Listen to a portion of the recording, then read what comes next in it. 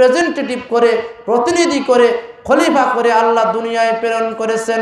তোমরা কুল্লুকুম মাসউলুন আনর ইয়াতিহি প্রত্যেকের দায়িত্ব সম্পর্কে কিয়ামতের দিন জিজ্ঞাসিত হতে হবে।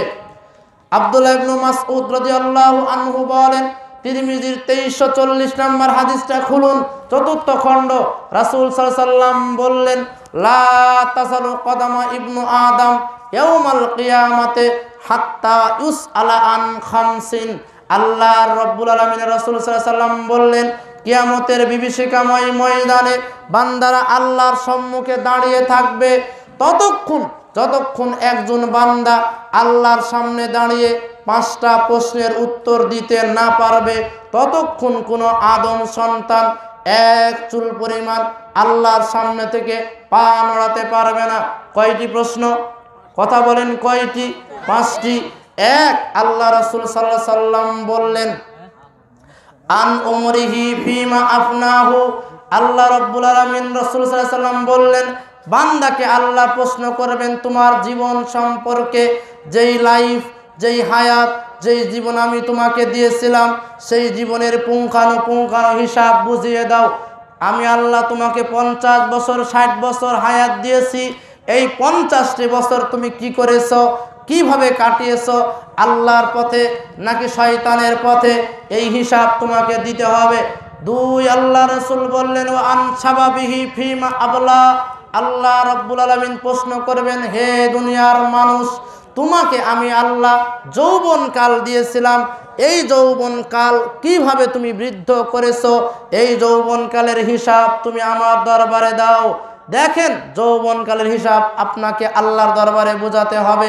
অতএব এই যৌবনকালে জেনা ব্যবিচার পরকিয়া, অন্যায়, অবিচার গোপন যে কোনো পাপ আপনি, আমি যদি করে থাকি, আল্লাহর দরবারে এই যৌবনকালের হিসাব দিতে যে আমরা ঠেকে যাব, আমরা পার পেতে পারব না।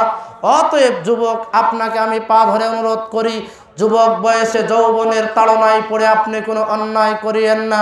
আল্লাহ রসুল বলেন, তিন নাম্বার, আল্লাহ প্রশ্ন করবেন, হে মানুষেরা তোমরা তোমাদের ধন সম্পদ কোন পন্থায় উপার্জন করেছ? তোমার ইনকামিং সোর্সটা কোথায় ছিল? কোথায় থেকে টাকা আয় করেছ? তোমার টাকা আয়ের উৎসটা কি ছিল? হালাল নাকি হারাম? তোমার টাকা আয়ের উৎস আল্লাহ দরবারে বুঝিয়ে দাও। এটা আল্লাহর তিন নম্বর প্রশ্ন। চার নম্বর প্রশ্ন হলো ফিমা আনফাকাহু? তোমার এই উপার্জনকৃত অর্থ তোমার কোন পদে তুমি খরচ করেছ, ব্যয় করেছ, সেই প্রশ্নের উত্তর দিতে হবে।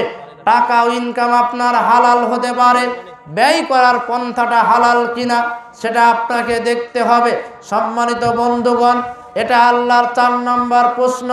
পাঁচ নম্বর আল্লাহর প্রশ্ন হলো, ওয়ান আমিলা মাজা ইলমান তুমি তোমার জানা অনুপাতে আমল করেছিলা কিনা? তুমি যতটা জানো, সেই জানা অনুপাতে মেনেছো কিনা, এই হিসাব আল্লাহর দরবারে তুমি দাও। এই পাঁচটা প্রশ্নের উত্তর যতক্ষণ আদম সন্তান দিতে না পারবে, ততক্ষণ আদম সন্তান আল্লাহর সম্মুখ থেকে পা নড়াতে পারবে না, কদম নড়াতে পারবে না তাহলে বুঝুন বিষয়টা কতটা ভয়াবহ হতে পারে যে এই পাঁচটা প্রশ্নের উত্তর আপনাকে আমাকে আল্লাহর দরবারে বুঝিয়ে দিতে হবে। অথচ এই পাঁচটা প্রশ্নের উত্তর সম্পর্কে আমরা একেবারেই উদাসীন, একেবারেই গাফেল। আল্লাহ আমাদের সকলকে এ বিষয়গুলো বুঝার এবং আমলের তৌফিক দান করুন। আল্লাহ আমিন।